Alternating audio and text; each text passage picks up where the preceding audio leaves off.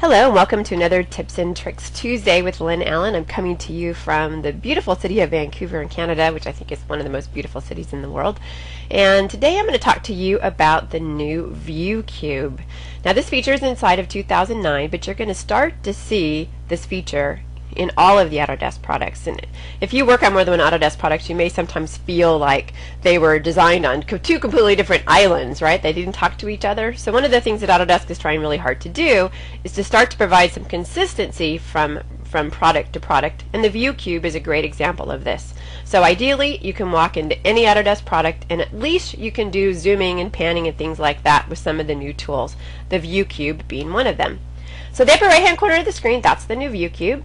I love it because it's really easy to work with. Notice as I move my cursor around, you'll see that there are a variety of hotspots that, that, uh, that darken, making it clear that I can select there. I'm going to go ahead and select a couple of these hotspots, and you'll see that as I do so, that AutoCAD automatically changes the view based on where I select. It makes it really easy for you to get specific views that sometimes are not so easy to get by just modifying the viewpoint. For example, if I want to go to the very back, Sure enough, the View Cube makes it really easy for me to do that.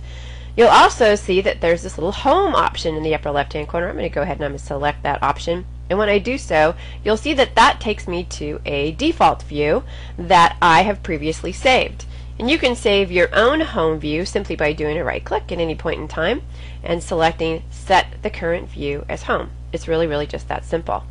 Also, if I want, I can zoom around on this freeform just by holding the mouse key down and kind of move it around. It works just like the 3D Orbit command. The 3D Orbit command, of course, is still in AutoCAD. This is just another option.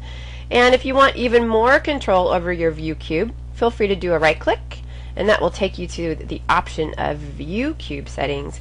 And here you can decide things like you know I don't want the view cube in the upper right hand corner I like it in the upper left hand corner. You can control the size of the view cube. You can control the opacity. Maybe you'd like to be a little more transparent so it's not so visual on the screen.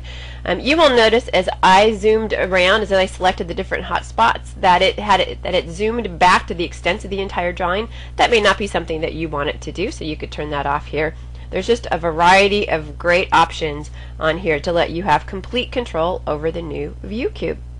So that is my tip for today. I would encourage you to get used to this great new feature, which incidentally you can, um, well, you'll see it automatically shows up if you happen to go to a, the 3D workspace inside of AutoCAD 2009. You can get to it a variety of other ways as well.